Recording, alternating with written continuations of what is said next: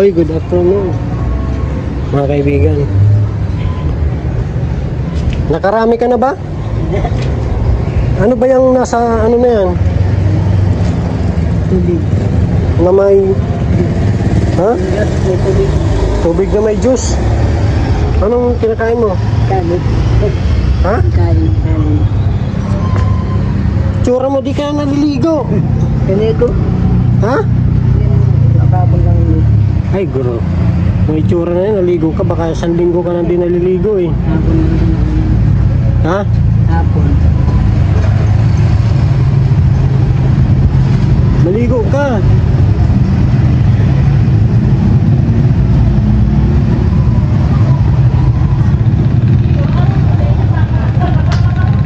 Ah, maligo. Oh, tingnan mo. Mo, puno na yata ng ano yan eh.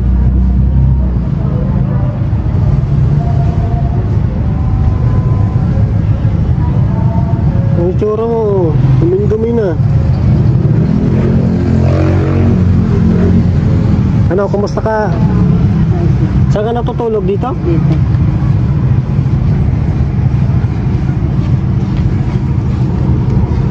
Baho mo na talaga.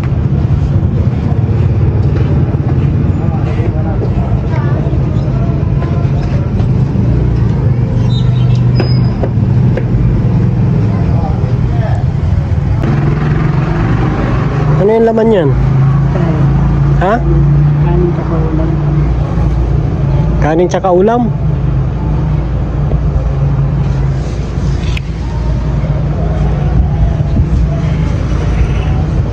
Kaya may tsura mo, mukha ka na talagang ano.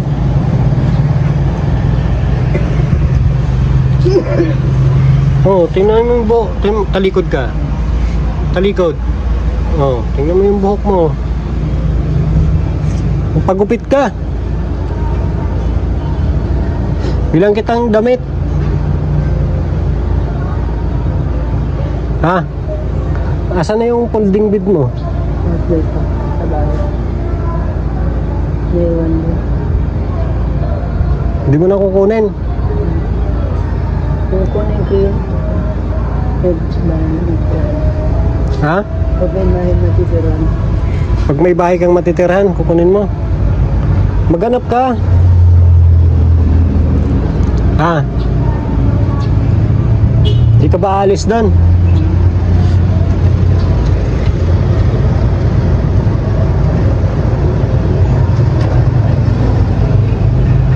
Maghanap tayong, maghanap ka ng maupahan.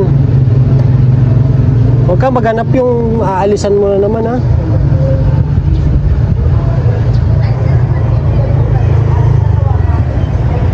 Ha?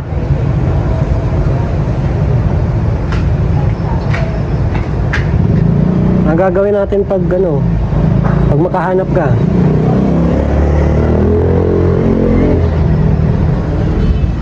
Ha?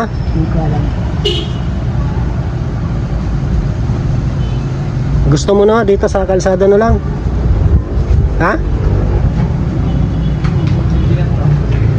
Well, pag nagkasakit ka na naman, di ka natatanggapin ng pamilya mo doon. Ha? Kahit ngayon, hindi mo lang tatanggap.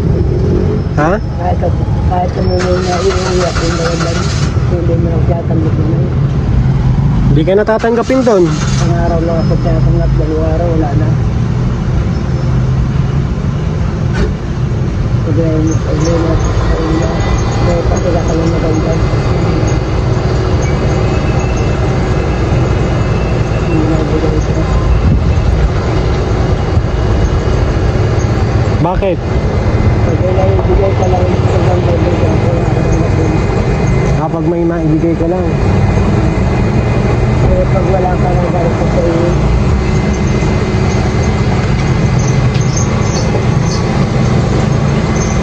Ba't di ka tinatanggap?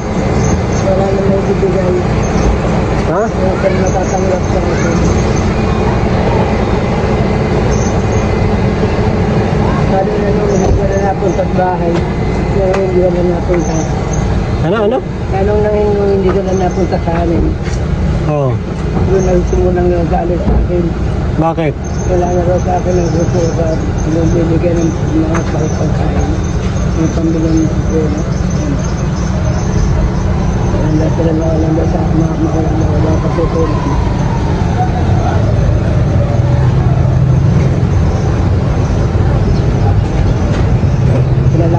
Dun. Dun ako tulog sa ating bahay namin. Nalayas ako ng gabi.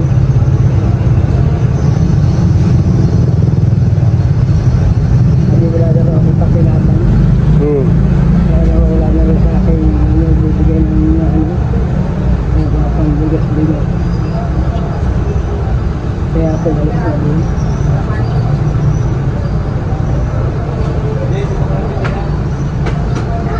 Sa mga galing ng kapatid ko, Alin doon? yung kapatid ko. Lalaki? Yung nagpali sa akin. Yung lalaki? Hindi ka naman sa kanya nakatira. Yung, yung Carrero din. Oh, ba't ka pa? Dapat yung pamangkin mo mismo yung papaalis sa'yo. Kung pag laging nalalasing, lagi ko pupuntahan ng bahay. Pag nalalasing, sabi ako inaaway. Alis ako. Wala daw akong, wala daw akong pakinabang. Wala kang ano? Wala daw akong pakinabang. Bakit? Wala lang na wala daw akong gagawin yung mabuti din.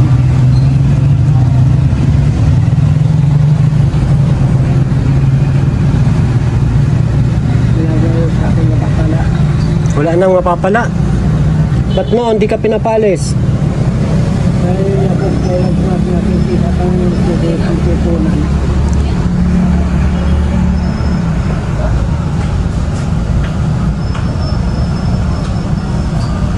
Maggawa tayo ng kubo-kubo dyan sa gilid oh.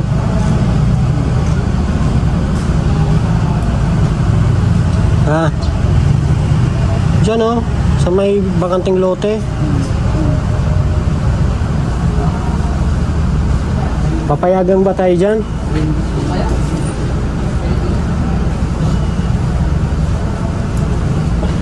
Mahal man ata ang paupahan dito eh. Buti kung lagi tayong may sponsor na tutulong. Ano pag wala? Ah.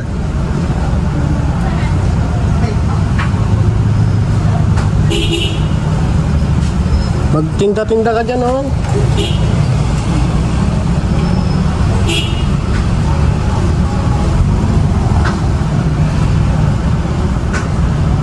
Yung sa may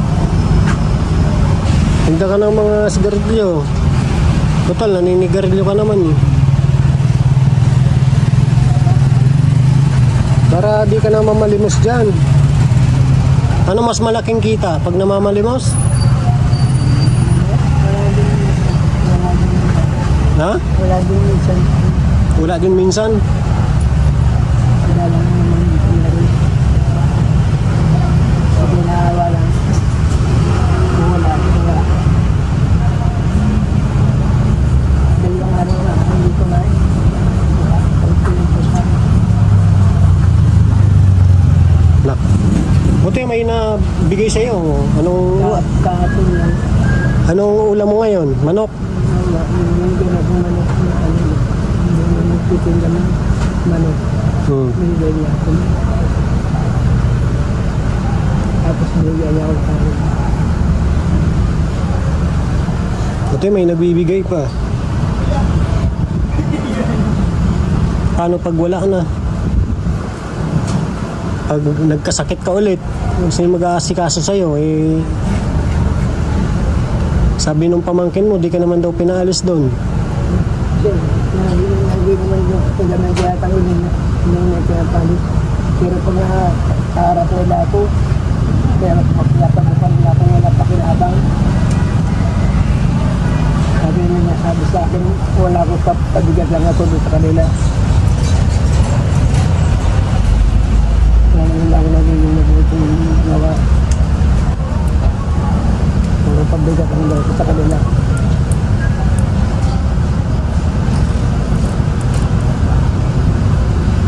Ano yan, pag magkasakit ka ulit, di... Sino mag-aalaga sa'yo? Wala na. Ha? Eh, ayaw mo magtino eh.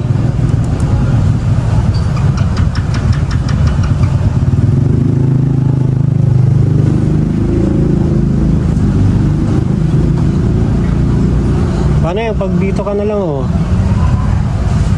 Mamatay ka na dito sa gilid ng kalsada. Mahala mo. Hindi po mag-apos sa ko. Wala mga gawa. Ganun mga Eh kaya nga inasip, inaano ka, tinutulungan ka para hindi ka na umabot sa punto na yon. Kaya dapat mapag, mapagka, mapag-isip-isip mo din na pwede ka namang mag, ano, magtrabaho. Bata ka pa naman ah. Hindi ka pa maghanap buhay. Huwag mo sanayin yung sarili mo sa paghihingi.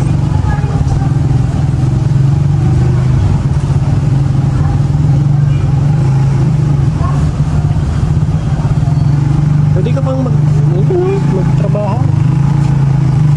Di ba? Nasanay mo yung sarili mo eh.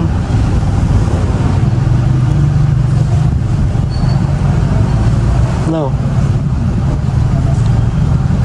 Maghanap ulit tayo ng bahay. Ha? Ayaw mo na ng bahay?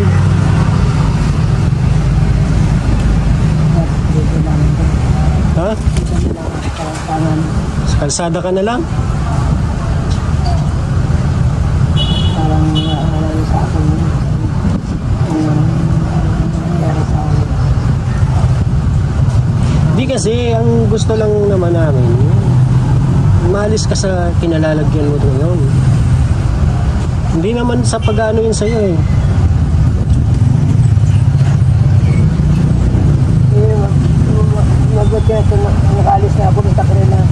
Eh, kung hindi ako bum- bumalik sa kanila, eh, lagi nila akong ano, lagi po wala, wala ako na iuwi sa kanila, magalit sa, sa akin. Kaya nga dito, maghanap ka ng maliit na kwarto. Tapos, pwede kang magsimula, pwede kang magtrabaho. Pwede kang magtinda. Di ba maraming mo paraan eh, para kung ikaw lang naman ang bubuhayin mo lang naman yung sarili mo eh. Basta ang importante nun, maalis ka sa mga sa kalsada. Huwag ka nang ma- malimos.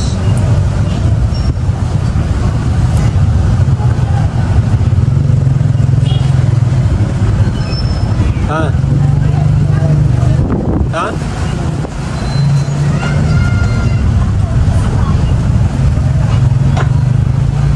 Huwag ka mamalimos. Kasi pwede ka naman, bigyan ka ng puhunan, no?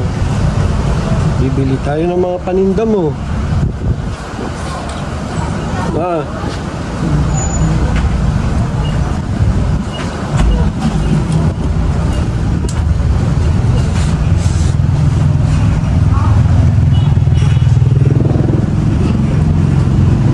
Ayaw mo na yung naka, makaalis ka dito sa gantong sitwasyon mo? Patagal ko yung gusto makaalis sa ganitong sitwasyon. Oh. Kaya walang, walang yung sa mag-alis sa akin. Walang ano? Walang yung tiyaga sa akin na para makaalis. Kaya ito. Dahil na ano, gagawa mo ko sa akin eh, wala talaga ito pagkilap kailangan. Kaya nga, ito, At para niyo pagbangon nila, lagi lang siyapan mo ko sa akin na wala akong pagkinabang pakainin na ako. kaya nga ang gawin natin ngayon, magganap ka ng kwarto yung matutulugan mo lang. Huwag ka rito sa labas. Tapos, magtinda-tinda ka dyan, oh, sa... Dyan, oh, marami namang tao dito sa Dait, eh, sa sentro, dyan sa gilid ng kalsada. Tapos, pag uwi, pag sa gabi, di pag uwi mo, dalin mo lang. Malagyan lang natin ng kariton. Maliit, lagyan natin ng gulong ng bike. O pwede mo siyang itulak-tulak pa uwi doon sa uwian mo. Ha?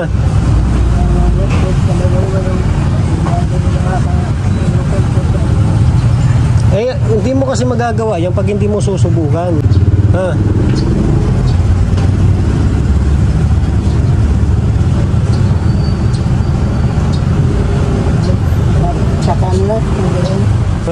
Matanda na ako. Ano. Hindi ka pa nakahanda ngayon?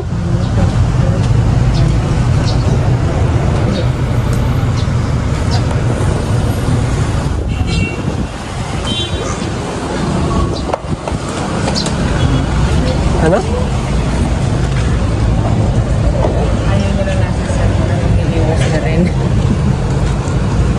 Wala eh. Parang gusto niya na talaga sa kalsada na lang eh. Kanina niya pag gusto kong ay, pilipit na yung mga. Ano, wala niya. May kaso din. Ha? Kaso din. Pagas-gas ka. Makakalagaan. Niplit na tayo. Ayaw niya ng ano eh. Ewan ko doon. Ayaw na naman pinagsasabihan siya na naman niya na pinakikialaman siya. Baka gusto niya na lang talaga dyan sa ano eh. Gusto din tulungan. Ay, hindi ako pasya doon. Ayan, salamat po kay Ate Ani Naliska Rebuanga. Ayan, ah, kausap ko ngayon si Tatay Alfred. Kaso para talagang, ewan ko ba, ayaw na talaga yata mag...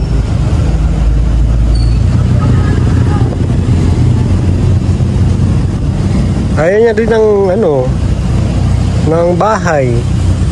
Gusto niya kasi ganun eh, parang tamad na siyang mag tamad na siya sa sarili niyang buhay. Parang gusto niya ng ganun na lang. Wala na.